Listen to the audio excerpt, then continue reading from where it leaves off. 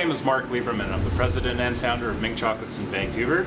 We sell more handcrafted ganache-filled chocolate bars than anyone in the world that we're aware of.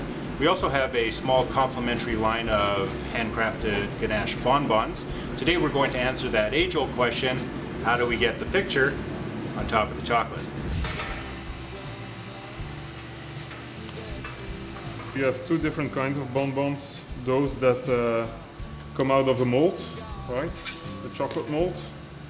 Uh, or you have those that are enrobed, where you make the filling first, like these guys. You cut them into a certain shape and then you enrobe them, which is covering them with, uh, with chocolate.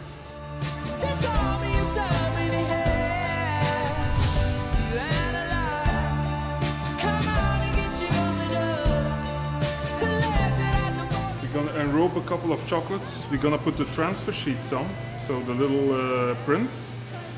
And I'll put them in the cooler right away. Then we need about half an hour. When they come out of the cooler, we can peel the plastic sheet off and the print stays on.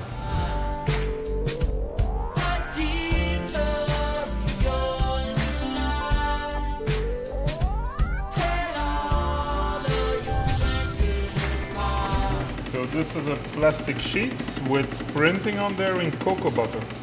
This is a three color one. Uh, you can go up to, uh, to six colors.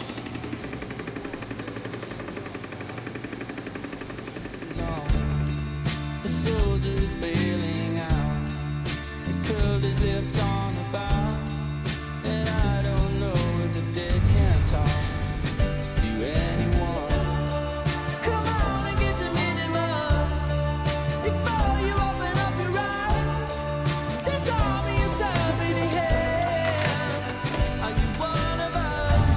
So these ganache chocolates are covered in couverture chocolate to give it the hard shell, and by being uniform in shape and size, we can use pictures to denote all the flavors inside.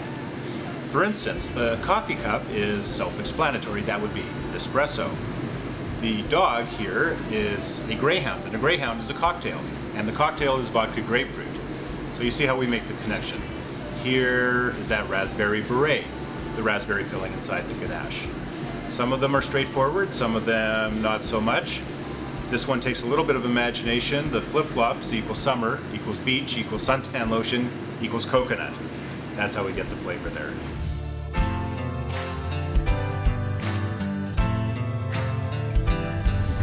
We hope we've been able to answer that burning age-old question, how do we get the picture on top of the chocolate? Thanks for taking the tour with us today. Come and visit us online, minkchocolates.com. You can buy online and make somebody happy. We'll ship anywhere in the world.